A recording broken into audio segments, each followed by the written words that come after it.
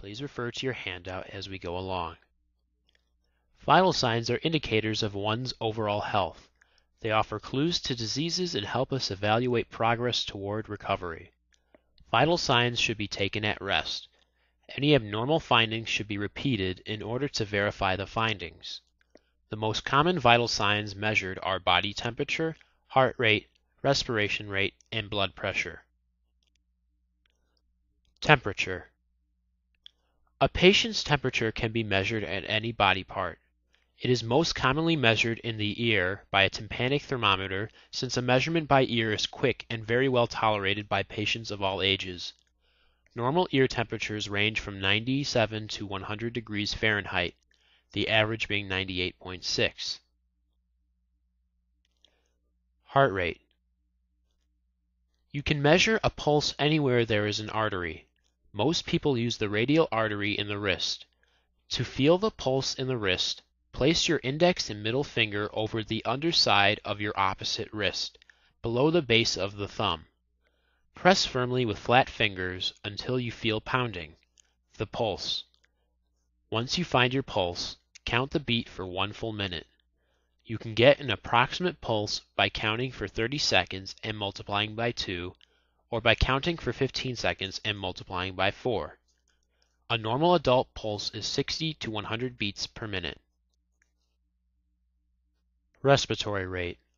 Observe the patient's stomach or chest and watch until you see it rise and fall. Count the number of times the stomach or chest rises for 15 seconds and multiply by 4, or for 30 seconds and multiply by 2. This tells you the respiratory rate per minute. A normal respiratory rate at rest is 20 to 40 breaths per minute depending on your age. Blood pressure. Blood pressure measures the force of the circulating blood on the walls of the arteries. The average blood pressure is 120 millimeters of mercury systolic over 80 millimeters of mercury diastolic. Blood pressure is the hardest vital sign to measure and takes a lot of practice to master. The following steps describe how to measure a patient's blood pressure. Place the patient's arm so that it rests at the same level as your heart. Find the pulse with your index and middle fingers on the inside of the arm near the elbow. Wrap the cuff and secure it.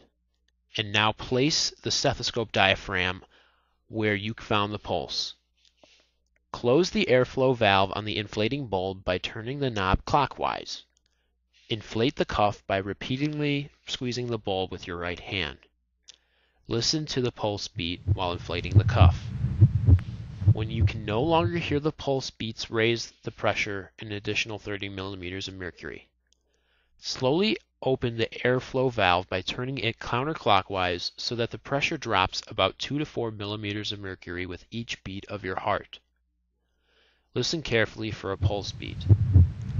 Moment you hear the faint rhythmic thumping sounds of the pulse beat, note the reading on the gauge. This is your systolic blood pressure. Allow the pressure to continue dropping at the same rate as before. Listen carefully with the stethoscope for swishing sounds. When you can no longer hear the sounds, read the gauge and record it. This is your diastolic pressure. Measuring vital signs may seem easy, but in reality it takes time and practice to measure them accurately.